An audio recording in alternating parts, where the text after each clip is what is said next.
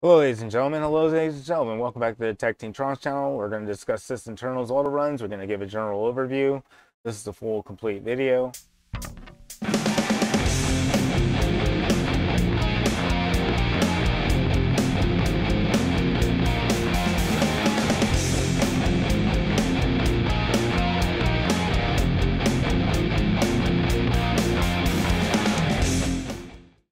AutoRuns is a Microsoft tool that identifies software configured to run when a device is booted or a user signs into their account. Legitimate software will often launch when the machine is turned on. Outlook is a perfect example as users browse their emails. In the event that a device has been compromised, any installed malware likewise will have to survive a reboot. When a machine is powered down, the malware needs an instrument to keep running on the device. To do this, it can utilize many genuine Windows features that permit the software to launch at boot. Auto runs is made up of multiple tabs, each containing data regarding auto start mechanism. So in this video, what we'll do is we'll go through the tabs in detail. I will show you how you download it. And I just did a simple Google search for the software. And uh, this is what came up. And I had to scroll down a little bit, get from ZDNet, get from several other places. Um, I was looking for the official site. That was not that easy to find. So I clicked where I clicked and I decided to download from here. Be sure to click the like on the way into the video. Be sure to share with a friend. Um, and be sure to subscribe if you're not already subscribed.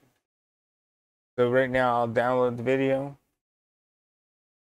well, download the software. Download will begin shortly. And there it is. All right. So I'll just go ahead and open. What I did was I basically opened up the zip file that came with it, the download, and it contained multiple files. I just clicked auto runs and just let it run just to keep it simple. There's a 64-bit version, the exe keys for that. So we're gonna explore auto runs. Okay. So I'm gonna look at the file menu. You get your standard open, save type stuff, and you can compose, compare, quick finds, Mr. Search, and then you could do different things with the entry that's the different entry menu. My menu is not populated, and these are your options menu.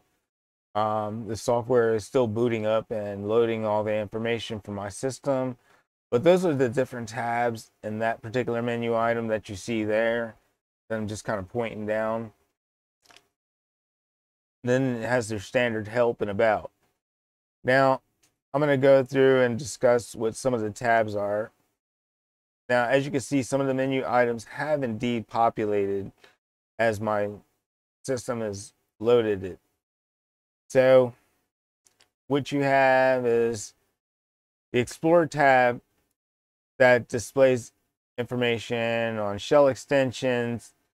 There are individual plugins for Windows Explorers. For example, being able to preview a PDF file. So I have it set to everything that shows everything from all tabs, but you can simplify your life by looking at the different tabs. Like the logon tab displays information for stand-up startup locations. You got the Explorer tab that displays shell extensions, browser helper objects, Explorer toolbars, active executions, Internet Explorer tab displays. And then you have the Internet tab Explorer, which displays browser help objects and things of that nature. And then you have scheduled task displays tasks that are configured to start at boot or login. And then you have the, uh, the services tab, which display all Windows services that are scheduled to run automatically when a device boots. Drivers allows a piece of software or hardware to communicate with the device's operating system. The drivers tab in auto displays all the registered device drivers the device.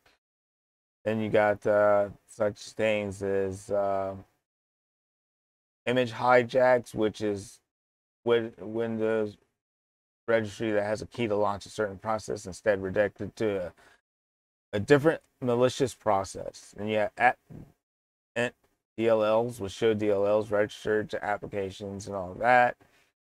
Then yeah, Winlogon, you have all kinds of different tabs for whatever you need to see and I'll just skip past the ones that don't really have anything. But this software is pretty in-depth and it deals with your startup processes. Pretty neat stuff. Um, it's healthy to use this and if you want to search for malware or you're you're seeing processes, it'll color code the processes that are missing in yellow they'll color code the ones in red or uh, or, or, pink that require a um, some attention. So you can look on it, you get information about it from the system itself by just clicking on it. It puts all this information in one place for you. And then you have your um, buttons up there. And it also displays at the bottom some information about what object you're looking at well.